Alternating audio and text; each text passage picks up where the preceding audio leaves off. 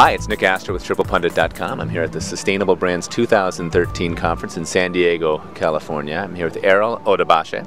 He is the Director of Sustainability for Johnson & Johnson's Medical Devices and Diagnostics Division.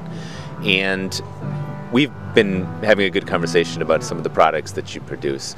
Um, before we get into the really exciting stuff, which is basically building the case for more sustainable products and to offer more sustainable products. How do you actually define a sustainable product in the first place? Well, in the, in the valuation model that we've created to look at uh, driving sustainability, we're really talking about the uh, the products themselves. So we're talking about product sustainability as opposed to operational sustainability.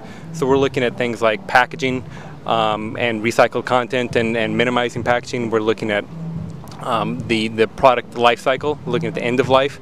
We're looking at about chemicals of concern that may be in the products. Um, we're looking at the energy consumption, water consumption, waste consumption from the products themselves. So that's really what we're looking at is, is uh, the product life cycle. Mm -hmm. Okay, great. Now, what about this valuation of sustainability? Tell me about how that works and, and how you help uh, make the case for these products. Sure. So what, what we know is that um, our customers are demanding more sustainable products. Uh, we actually know from market research that we've done that 55% of customers believe that sustainable products are uh, sustainability is, is very important in the procurement process and that 35% of our suppliers that, that we or customers that we um, had market research with they they said that um, they have switched suppliers due to sustainability attributes. So we know this is very important in in driving decisions and so what we wanted to do was to was to develop a valua valuation model that will actually uh, give us uh, some range of how much sustainability is worth so we can prioritize it with all the other internal uh, projects that we yeah. have going on. Yeah.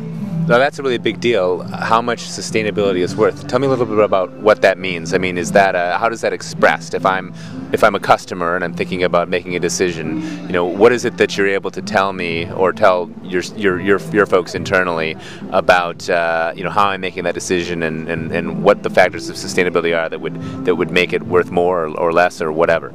Sure. So what what we're looking at is um, internally is really revenue. So we're basing on how much revenue can we uh, increase, how much market share can we gain by having more sustainable products.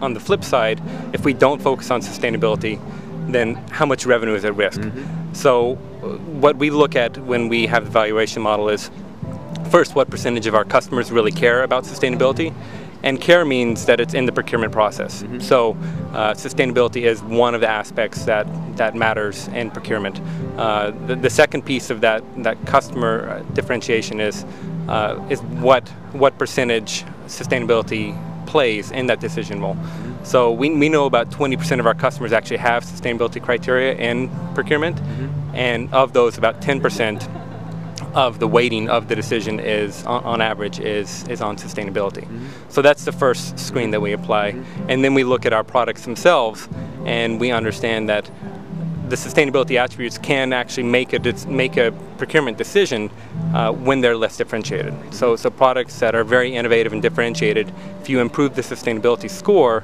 you're not really going to impact the procurement decision.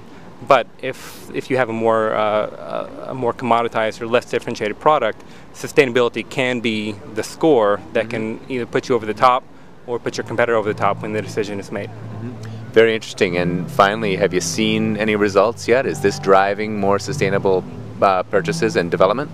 Absolutely. So what it's driving is is more sustainable uh, sustainability discussions. So it's bringing it to the table. So a lot of people believe that sustainability is the right thing to do, and we believe that. We've believed it for a long time. It's part of our, our credo. Um, but the right thing to do, I think, gets you so far, and you need to look at the, the business drivers. And as sustainability is a business driver now, and we can prove that, then it really uh, opens people's eyes and, and gets the right conversations going to make the changes that we need to make. Wonderful. Erol, thanks very much for your time. All right, thank you.